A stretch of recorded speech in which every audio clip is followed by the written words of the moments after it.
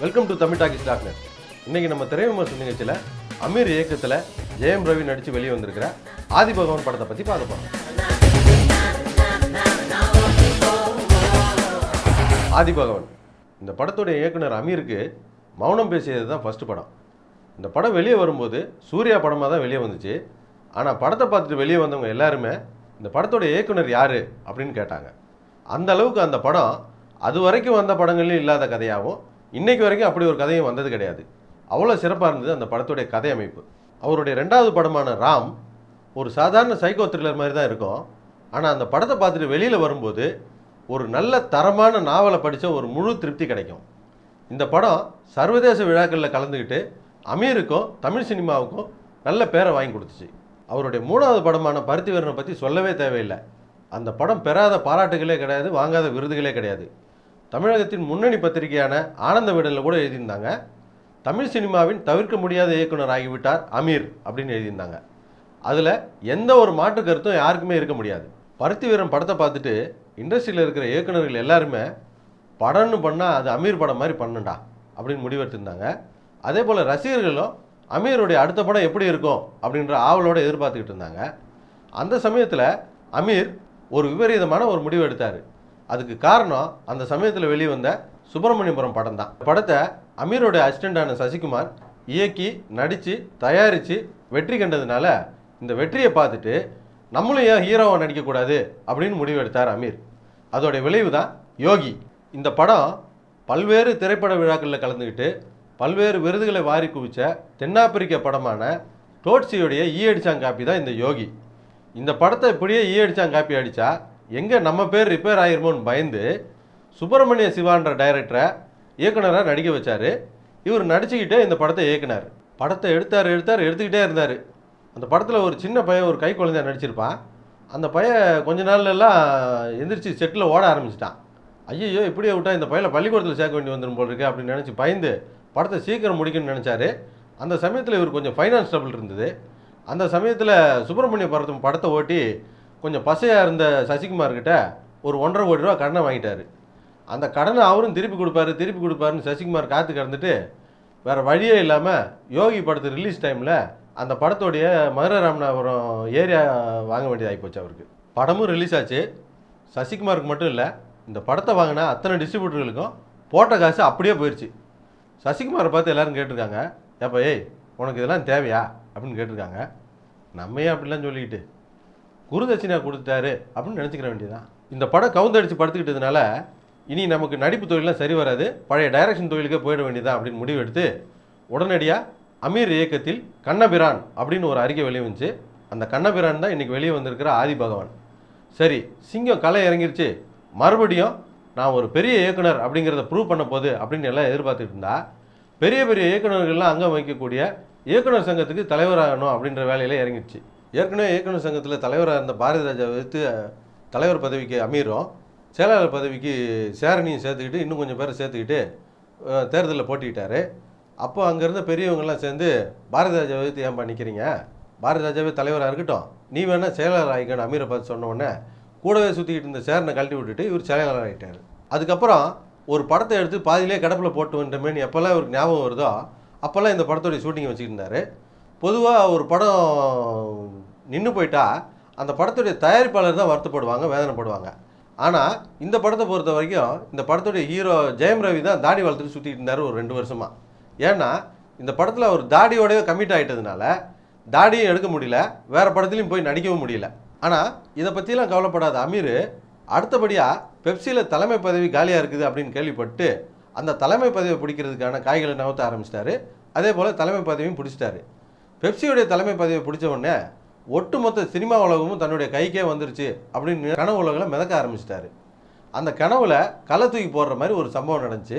அதுதான் தாண்டவம் கதை திருட்டு பிரச்சனை. நடிகர் விக்ரம் நடித்து யூடிவி தயாரித்து வெளியே வரப்போகிற தாண்டவம் படத்துடைய கதை என்னுடையதான்னு உதவி இயக்குனர் பொன்னுசாமி ஒரு புகார் கொடுத்துருந்தாரு. அந்த புகாரில் யூடிவி தனஞ்சயங்கிட்ட நான் ஒரு கதை சொல்லியிருந்தேன். அந்த கதையை முழுசாக கேட்டுட்டு இந்த படத்துடைய ஃபுல் ஸ்கிரிப்டை கொடுங்க அப்படின்னு கேட்டு வாங்கி கொஞ்ச நாள் வச்சுருந்துட்டு என்கிட்ட திருப்பி கொடுத்துட்டாரு. இப்போ திடீர்னு பார்த்தா தாண்டவம் படத்துடைய ட்ரைலர் வெளியே வந்திருக்கு. அந்த ட்ரைலரில் வரக்கூடிய மொத்த காட்சியும் என்னுடைய கதையில் வரக்கூடிய காட்சிகள் தான். இந்த படத்துடைய கதையே கூட என்னுடைய கதை தான். அதனால் எனக்கு சரியான நியாயம் கிடைக்கிற மாதிரி பண்ணுங்க அப்படின்னு சொல்லிட்டு ஒரு புகார் கொடுத்துருந்தாரு. இந்த புகார் மேலே நடவடிக்கை எடுக்கிறதுக்காக தாண்டவம் படத்துடைய கதையும் பொன்னுசாமியுடைய கதைக்கும் ஒத்துமை இருக்கா அப்படின்னு பார்க்கறதுக்காக இயக்குனர் பாலாஜி சக்திவேல் ஏ வெங்கடேஷ் புதிய கீதை ஜெகன் மற்றும் சிலரை சேர்த்து ஒரு உண்மை அறியும் குழு அமைச்சாங்க. அந்த குழு கூடி விவாதிக்கும் போது முதல் நாளே ஏ வெங்கடேஷும் பாலாஜி சக்திவேலும் அந்த குழுவிலேருந்து விலகிட்டாங்க. ஏன்னா முதல் நாள் மீட்டிங்லேயே தெரிஞ்சு போச்சு. ரெண்டு கதையும் ஒப்பிட்டு பார்க்கும்போது இது பொன்னுசாமியுடைய கதை தான் அப்படிங்கிறது தெளிவாக தெரிஞ்சு போச்சு. இதை யூடிவிக்கு எதிரான அறிக்கையாக கொடுக்கும்போது எங்கே நம்ம எதிர்காலம் பாதிக்கப்படுமோ அப்படின்னு பயந்து அந்த ரெண்டு பேரும் விலகிட்டதாக சொல்கிறாங்க குழுவில் மீதம் இருந்தவங்க தொடர்ந்து அந்த கதையை படிச்சுட்டு படத்தையும் போட்டு பார்த்தாங்க. படத்தையும் போட்டு பார்த்துட்டு ஒரு அறிக்கையை சமர்ப்பிச்சாங்க. அந்த அறிக்கையில் என்ன இருந்ததுன்னா பொன்னுசாமியுடைய கதை தான் இந்த கதை. கதை மட்டும் பொன்னுசாமி இதில் படத்துடைய திரைக்கதையும் இவருடைய திரைக்கதை தான்.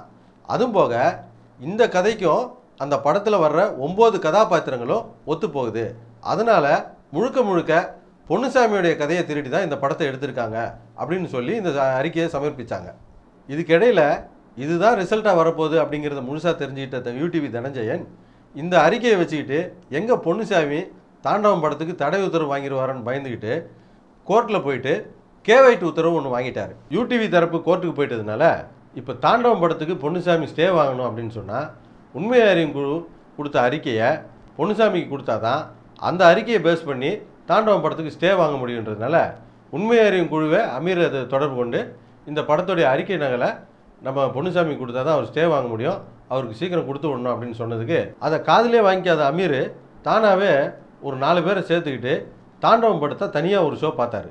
அந்த ஷோவுக்கு யூடிவி தரப்புல இருந்தோம். நடிகர் விக்ரமனும் அந்த இடத்துக்கு வந்திருந்தாங்க.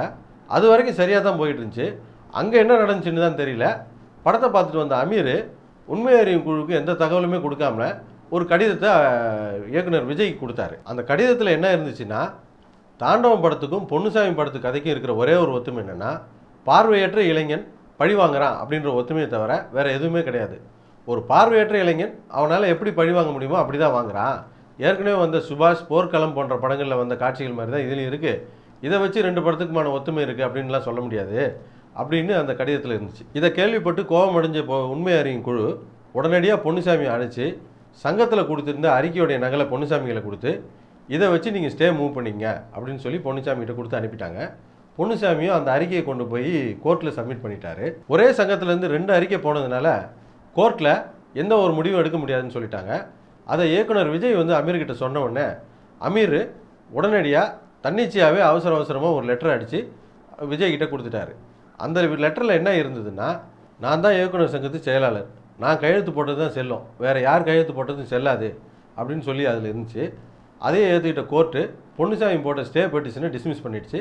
தாண்டவம் படத்துடைய ரிலீஸுக்கு தடை உத்தரவு தர முடியாது அப்படின்னு சொல்லிடுச்சு. இதை கேட்டு அதிர்ச்சி அடைஞ்ச உண்மை அறியும் குழுவினர் உடனடியாக சங்கத்தில் அவங்கவுங்க அங்க வகித்துட்டு இருந்த பதவிகளெல்லாம் ராஜினாமா செஞ்சுட்டு அன்னைக்கு வழக்கமாக இயக்குனர் சங்கத்துக்காக திரையிடக்கூடிய சிறப்பு காட்சி ஒன்றில் முந்நூறு பேருக்கு முன்னால் தோன்றி தண்ணியில் விளக்கம் அளித்தாங்க அதில் நடந்த விஷயங்கள்லாம் சொன்னாங்க. நடந்த விஷயங்களை கேள்விப்பட்டு அங்கே இருந்த இயக்குனர்களும் உதவி இயக்குனர்களும் ரொம்பவும் கொதிப்பு அடைஞ்சாங்க. அந்த கொதிப்புக்கு காரணம் என்னென்னா இந்த கதை திருட்டு அப்படிங்கிறது ஒரு புது விஷயம் கிடையாது. காலகாலமாக நடந்துக்கிட்டு இருக்க விஷயம்தான். ஆனால் இப்படி கையும் களவுமாக ஆதாரபூர்வமாக மாட்டின ஒரு விஷயத்த அமீர் யூடிவியில் காசை வாங்கிட்டு இப்படி விட்டுட்டாரு அப்படின்னு எல்லாரும் பேசிக்கிட்டாங்க. அந்த கூட்டத்தில் இருந்த சிலர் வாங்க அமீர் வீட்டுக்கு போய் எல்லாரும் கிளம்பி போயிட்டு நியாயத்தை கேட்போம் அப்படின்னு சிலர் சொல்லிட்டு இருந்தாங்க. சில பேர் வாங்க யூடிவியை போய் முற்றுகையிடுவோம்னு சொல்லிட்டு இருந்தாங்க. அந்த சமயத்தில் விஷயத்தை கேள்விப்பட்டு வெளியில் இருந்து பல அசிஸ்டன்ட் டைரக்டர்லாம் அந்த இடத்துல குமிய ஆரம்பித்தாங்க அந்த இடமே ஒரு பதட்டமான சூழ்நிலை உருவாயிடுச்சு. இதுக்கெல்லாம் பதில் சொல்ல வேண்டிய அமீர் அவர்கிட்ட எந்த கேள்விக்குமே பதில் இல்லாதனால இவங்க மேலேயே ஒரு மற்ற ரகமான காரணத்தை பழியாக சுமத்திட்டு மீடியாவை கூப்பிட்டு நான் ராஜினாமா செய்கிறேன்னு அறிவிச்சிட்டாரு. கேள்விப்பட்ட மதுரையில் ஷூட்டிங்கில் இருந்த இயக்குனர் சங்க தலைவர் பாரதி ராஜா உடனடியாக சங்கத்தை தொடர்பு கொண்டு யாரும் ராஜினாமா செய்ய வேணாம். யாரையும் யாரையும் தாக்கி பேசிக்க வேணாம். நான் நாளைக்கு காலையில் நேரில் வந்துடுறேன். நீங்கள் ஒரு சிறப்பு கூட்டத்துக்கு ஏற்பாடு பண்ணுங்கள் அங்கே வச்சு முடிவு பண்ணிக்கலாம் அப்படின்னு சொன்னார். இதை கேட்டு நாளைக்கு ஏதோ ஒரு தீர்வு வரப்போகுது அப்படின்னு சொல்லி எல்லோரும் நம்பிக்கையோடு கலைஞ்சு போயிட்டாங்க. பாரதி ராஜா பேச ஆரம்பித்தார் அதில் ஏயா இது ஒரு சின்ன பிரச்சனை. இதுக்கு போய் ராஜினாமா அது இதுன்னு பொல்லு கலாட்டா பண்ணிட்டு. அப்படின்னு ஆரம்பித்தவர் அமீரை பார்த்து என்ன அந்த பழைய பகையெல்லாம் தீர்த்துக்கிற மாதிரி இங்கிலீஷில் என்னென்ன கெட்ட வார்த்தை இருக்குதோ அத்தனையிலையும் திட்ட ஆரம்பிச்சிட்டாரு. அப்புறம் கொஞ்ச நேரம் கழித்து சகஜமாயிட்டு சரி இதுக்கு போய் எல்லாம் ராஜினாமா செஞ்சுக்கிட்டு ராஜினாமாலாம் வாபஸ் வாங்குங்க அப்படின்ன உடனே உண்மை அறிவு குழுவில் இருந்தவங்களாம் வாபஸ் வாங்கிட்டாங்க. அமீர் சொல்லிட்டாரு நான் ராஜினாமா செஞ்சது செஞ்சது தான் அப்படின்னு நட்டமாக நின்ட்டாரு. சரி இந்த பட வழக்கு வந்து நிலுவையில் இருக்கிறதுனால அதை பற்றி நம்ம பேச வேணாம். அதை கோர்ட்டு பார்த்துக்கோ. அதனால இந்த பிரச்சனையை இத்தோட விட்டுருவோம் அப்படின்னு பாரதி ராஜா சொன்ன உடனே கூட்டம் கலைய ஆரம்பிச்சிருச்சு. அப்போ கூட்டத்தில் இருந்த புதிய கீதை படத்தோடைய இயக்குனர் ஜெகன் எந்திரிச்சு எனக்கு ஒரு உண்மை தெரிஞ்சாகணும் அப்படின்னு சொன்னார். என்னென்னா தாண்டவம் படத்துடைய கதை பொன்னுசாமி தான் இருக்கட்டும் அல்லது விஜய் தான் இருக்கட்டும் அல்லது யாரதாவது இருக்கட்டும். அதை கோர்ட் முடிவு பண்ணட்டும் இல்லாட்டி வேறு யாராவது கூட முடிவு பண்ணிட்டோம். அதை பற்றிலாம் இப்போ எனக்கு பிரச்சனை கிடையாது. நான் வந்து சின்ன வயசுலேருந்து சினிமா பார்த்துக்கிட்டு இருக்கேன். ரொம்ப வருஷமாக சினிமாவில் இருக்கிறேன். பெரிய பெரிய டைரக்டர்கிட்டலாம் அசிஸ்டன்ட் டைரக்டராக வேலை பார்த்துருக்கேன். நான் ஒரு மூணு படம் டைரக்ட் பண்ணியிருக்கேன். இப்போ எனக்கு இருக்கிற சந்தேகம் என்னென்னா சினிமாவில் இத்தனை வருஷம் அனுபவத்தில் என்னுடைய அறிவு சரியாக இருக்கா அப்படின்னு நானே சோதித்து பார்க்குற அளவில் இருக்குது ஏன்னா என்கிட்ட ஒரு ஸ்கிரிப்டை கொடுத்தாங்க. இந்த ஸ்கிரிப்டும் இந்த தாண்டவன்ற படத்துக்கும் ஒத்துமை இருக்கா அப்படின்னு கேட்டாங்க. நான் அந்த உண்மை அறிகிற குழுவிலேருந்து ஒத்துமை இருக்குது அப்படின்னு சொல்லி அந்த அறிக்கையை சப்மிட் பண்ணியிருக்கேன். ஆனால் இப்போது இந்த கதைக்கும் இந்த படத்துக்கும் சம்மந்தமே இல்லை அப்படின்ற மாதிரி ஒரு சூழ்நிலை உருவாகி போச்சு. என்னுடைய சினிமா அறிவு மேலே எனக்கே சந்தேகம் வந்துருச்சு. அதனால இயக்குனர் அமீர் அவர்கள் என்ன பண்ணணுன்னா எனக்காக க சினிமாவில் ஒரு பத்து கை தேர்ந்த இயக்குனர்களை தேர்ந்தெடுத்து அவங்கக்கிட்ட இந்த ஸ்கிரிப்டை கொடுத்து இந்த படத்துக்கும் அந்த கதைக்கும் சம்மந்தம் இருக்கா இல்லையான்றதை மட்டும் கேட்டு சொல்லணும். அவங்க இல்லைன்னு சொல்லிட்டாங்கன்னா நான் இன்றைக்கே இந்த இண்டஸ்ட்ரியை விட்டே போயிடுறேன். அதனால் உடனடியாக அமீர் அவர்கள் இதுக்கு ஒரு ஏற்பாடு பண்ணணும் அப்படிங்கிறது என்னுடைய தாழ்மையான வேண்டுகோள் அப்படின்னு சொல்லிட்டு ஜெகன் உட்காந்துட்டாரு அவர் கேட்ட கேள்விக்கு அன்னைக்கு மட்டும் இல்லை இன்னைக்கு வரைக்கும் அமீர் எந்த பதிலுமே சொல்லலை ஆனால் இயக்குனர் சங்கத்தில் பொறுப்பில் இல்லை அப்படின்னு சொன்னால் பெப்சியில் போய் உட்கார முடியாதுன்னு யாரோ போட்டு கொடுத்துட்டா போல் இருக்கு. அதனால பின்பக்கமாக வந்து இயக்குனர் சங்கத்தில் செயல்பட்டுக்கிட்டு இருக்காரு. ஆனால் ஜெகனுடைய கேள்வி மட்டும் இன்னும் ஒழிச்சிக்கிட்டே தான் இருக்குது ஜெகனுக்கு மட்டும் இல்லை சங்கத்தில் இருக்கக்கூடிய ஆயிரத்துக்கும் மேற்பட்ட து- உதவி இயக்குநர்கள்ட்ட இந்த கேள்வி இருந்துக்கிட்டே தான் இருக்குது அந்த கேள்விக்கு பதில் சொல்கிற வர அவர் இனி இயக்குனர் சங்கத்தில் எலெக்ஷனில் நிற்க முடியாது நின்னாலும் ஓட்டு கேட்டு போக முடியாதுன்றாங்க. அப்படியே நின்னா கூட அவருக்கு யாரும் ஓட்டு போட மாட்டாங்க அப்படின்னு பேசிக்கிறாங்க. என்னடா இது? ஆதிபவன் படத்தோடைய திரை விமர்சனத்தை பற்றி பேசுகிறேன்னு சொல்லிட்டு சம்மந்தம் சம்மந்தம் இல்லாமல் எதை எதையோ பேசிக்கிட்டு இருக்காங்கன்னு பார்க்குறீங்களா சம்மந்தம் இருக்குது சினிமாவில் ஒரு நல்ல ப்ராஜெக்டில் ஒரு நல்ல கதையை சொல்லி ஒரு டைரக்டராக ஒருத்தன் ஓகே பண்ணிட்டான்னா அவன் போகும்போது காலில் செருப்பு கூட போடாமல் போயிருக்கலாம். ஆனால் திரும்பி வரும்போது அவனை காரில் தான் அனுப்பி வைப்பாங்க. அதுக்கப்புறம் அவர் ஃப்ளைட்டில் தான் போவார் ஃப்ளைட்டில் தான் வருவார் ஸ்டார் ஹோட்டலில் தான் தங்க வைப்பாங்க. அவர் கூட எப்போவுமே ஒரு நாலு அசிஸ்டன்ட் இருப்பாங்க. அவருக்கு என்ன கேட்டாலும் அவருக்கு பண்ணி கொடுக்கறதுக்கு ஒரு மேனேஜரும் கூட ஒரு ப்ரொடக்ஷன் அசிஸ்டண்ட்டும் இருப்பாங்க. அவருக்கு என்ன தேவையோ அதை நிறைவேற்றி வைப்பாங்க. ஏன்னா சினிமாவில் ஒரு டைரக்டர்ன்றவர் ஒரு ஷிப்போடைய கேப்டன் மாதிரி அவருக்கு அந்த ப்ராஜெக்டை தவிர வேறு எந்த சிந்தனையும் வரக்கூடாது. அதனால் அவரை குழந்தைய மாதிரி பார்த்துக்குவாங்க ஆனால் நம்ம டைரக்டரை பொறுத்த வரைக்கும் இந்த படத்து வேலையை துவங்கினாரே தவிர அந்த வேலையை விட்டுட்டு மற்ற எல்லா வேலையும் முடிச்சுக்கிட்டு மீதி நேரம் இருந்தால் மட்டும்தான் இந்த படத்து வேலையை பார்த்தாரு. போன வருஷம் இந்த படம் ஆரம்பித்து ரொம்ப நாள் ஆச்சே. இந்த படத்தோடைய நிலவரம் என்னான்ட்டு இந்த படக்குழுவில் இருக்க நண்பர் ஒருத்தர் கேட்டேன். ஆமாம் படத்தை ஆரம்பித்து ரெண்டு வருஷம் ஆச்சு. இந்த படத்தில் எல்லாமே ரெண்டுங்க. படத்தில் ஹீரோவுக்கு ரெண்டு ரெண்டு ரோலு. அப்புறம் படத்தில் ரெண்டு கேமராமேனை மாற்றியாச்சு ரெண்டு எடிட்டரை மாற்றியாச்சு ரெண்டு ஆர்ட் டைரக்டரை மாற்றியாச்சு ரெண்டு நாட்டில் படத்தை எடுத்துருக்குறோம். ஏன்? இந்த படம் ஆரம்பிச்சதுலேருந்து ரெண்டு சிஎம் மாறிட்டாங்க. ரெண்டு பிரசிடெண்ட் மாறிட்டார். ரெண்டு கவர்னர் மாறிட்டாரு. ரெண்டு பிரதமர் தேர்தலையும் இந்த படம் சந்திச்சிச்சு அப்படின்னு சொல்கிறாரு அதுவும் போக இந்த படத்தை ஆரம்பித்ததுக்கப்புறம் அமீர் கூட சினிமாவில் ரெண்டு பதவி வாங்கிட்டாரு அப்படின்னு சொன்னார். இந்த படம் ஒரு வழியாக இழுத்து பறித்து வெளியே வந்துருச்சு. இந்த படத்தை பற்றி சொல்கிறதுக்கு சொல்ல முடியாத விஷயங்கள் நிறையா இருக்குது சொல்லும்படியான விஷயம் எதுவுமே கிடையாது. ஆனால் படத்தை பார்த்துட்டு சில பேர் சொல்லுவாங்க படத்தில் ஜெயம் ரவியோட ஆக்டிங் பயங்கரமாக இருக்குது ஹாலிவுட் படம் மாதிரி மேக்கிங் இருக்குது ஃபோட்டோகிராஃபி நல்லா இருக்குது அது இருக்குது இது இருக்குன்னுலாம் சொல்லுவாங்க.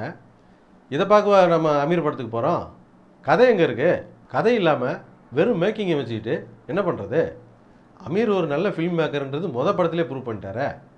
அவர் படத்தில் அதுக்காக போகிறோம் அமீருடைய கதை எங்கே? அதுவும் போக இந்த படத்துடைய வியாபாரத்தை பற்றி பார்த்தோம்னா ஜெயம் ரவிக்கு அதிகபட்சமான வியாபாரமே பதினாலு கோடி ரூபாய்க்கு தான் இருக்குது. ஆனால் அமீர் இந்த படத்தை இருபத்தி நாலு கோடி ரூபாய்க்கு செலவு இழுத்து விட்ருக்காரு இந்த இருபத்தி நாலு கோடி ரூபாய்க்கு செலவு பண்ண படம் ஒரு ஏரியா கூட பிஸ்னஸ் ஆகலை.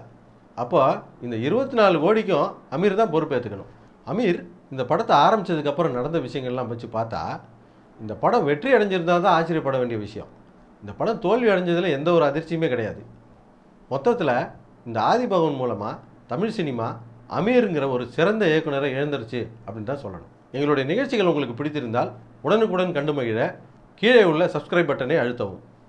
எங்களுடைய நிகழ்ச்சிகள் உங்களுக்கு மிகவும் பிடித்திருந்தால் உங்களுடைய நண்பர்களுக்கு ஷேர் செய்யவும். எங்களுடைய நிகழ்ச்சிகள் பற்றிய உங்களுடைய கருத்துக்களை எங்களோடு பரிமாறிக்கொள்ள கீழே உள்ள ஃபேஸ்புக் மற்றும் ட்விட்டரில் தொடர்பு கொள்ளவும். சினிமா பற்றிய செய்திகளை உடனுக்குடன் தெரிந்து கொள்ள கீழே உள்ள W W W dot Tamil talkies dot net இணையதளத்தில் காணவும். நன்றி வணக்கம்.